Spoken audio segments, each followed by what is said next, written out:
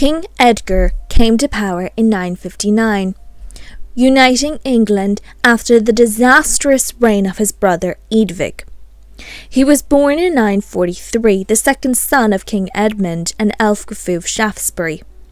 When Edgar was three, his father died, and his uncle Edred succeeded as king, and was king until he died in 955. Eadwig then became king.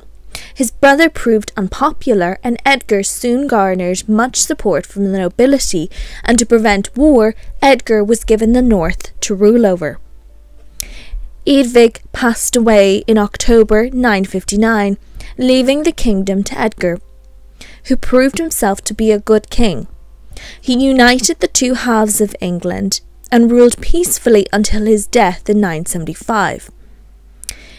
Thus he became known as Edgar the Peaceful. Edgar sought to reverse his brother's policies and relationships with the church.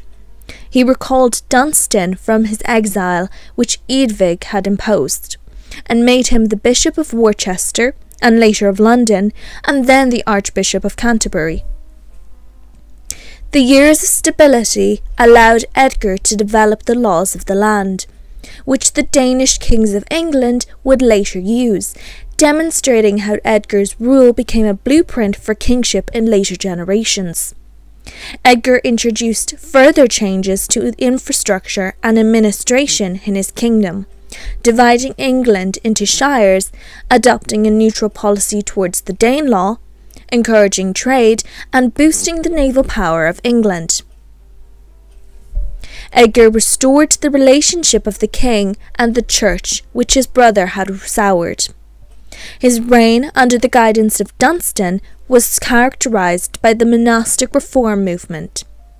This introduced the Benedictine rule to English communities. Edgar married three times. His first marriage was to Ethelfled Eneada, who was the daughter of Ealdorman Odomer. They had one son, Edward. His second marriage to Wulfrith of Wilton produced one daughter, Edith. His final marriage was to Elfrith of Devon. Elfrith's first husband, Ethelwald, was killed in a hunting accident, which became the subject of much speculation, as it was thought that Edgar himself killed Ethelwald as he wanted to marry Elfrith. Edgar and Elfrith had two sons together, Edmund and Ethelred.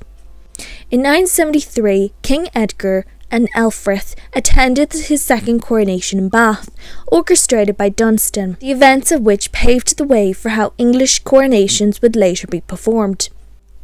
Peace ended with Edgar's death in 975. His eldest son Edward succeeded as king.